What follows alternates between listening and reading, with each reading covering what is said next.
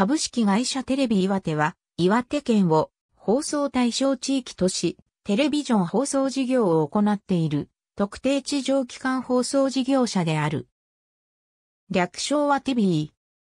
岩手県初の UHF テレビ局として開局した放送局で、当初は日本テレビ系列とネットテレビ系列のクロスネット局だったが、1980年4月1日に日本テレビ系列に一本化し、今に至る。コールサインは、 JOII-DTV。平成に入って報道番組に力を入れるようになり、1997年には、夕方の情報番組、岩手特盛。ご機嫌テレビを立ち上げ、局の看板番組にまで成長した。その後も、自社制作番組を増やす方向にある。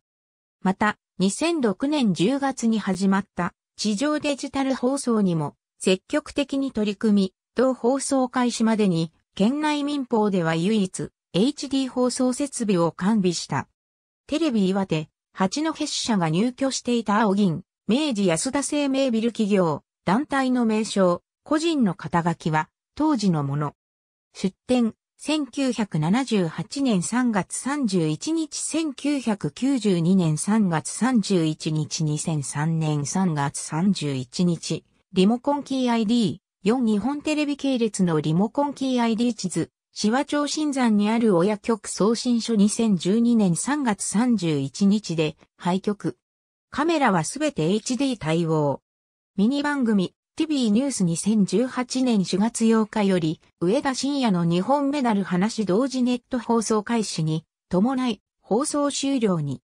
クロスネット時代に放送されていた、テレビ朝日系の番組、NNN、NNS フルネット局下で IBC へ移行もしくは、打ち切りとなった、テレビ朝日系の番組、NNN、NNS フルネット局下後も放送された、テレビ朝日系の番組ほかほかは、現在の内丸に移転してからもしばらく放送。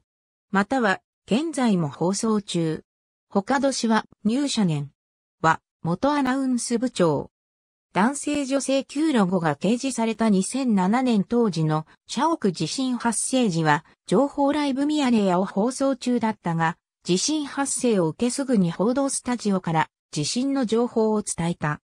その後の NNN の報道特番の中にも、随時自局の報道スタジオから独自に地震情報を挿入した。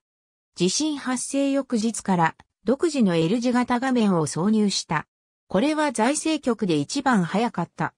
その後のほぼ通常編成に戻ると、日本テレビ発のものは最小限に抑え、自局からの報道特番を放送した。14日から25日まで平日は毎日10時25分から11時30分でプラス1特報として放送していた。また、これを編集したものを深夜に再放送している。なお、14日から16日まで日テレニュース24でも放送された。土日も平日と同程度の時間、時局からの放送となっている。3月14日から31日まで2部制、移行前のオハ4ニュースライブを臨時フルネットで放送した。4月からの同番組は2部制に移行したが、第1部について、月曜のみ、臨時フルネット、火曜から金曜は4時49分飛び降りとした。5月に入り、第1部は2部制移行前同様、全曜日4時19分飛び降りになった。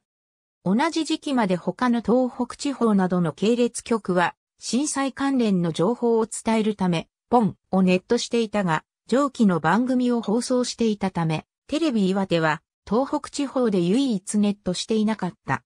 ご機嫌テレビも3月22日には再開したが、3月は通常より30分拡大して震災情報を中心に伝えた。ただし、ニュースエブリーの任意枠はネットしなかった。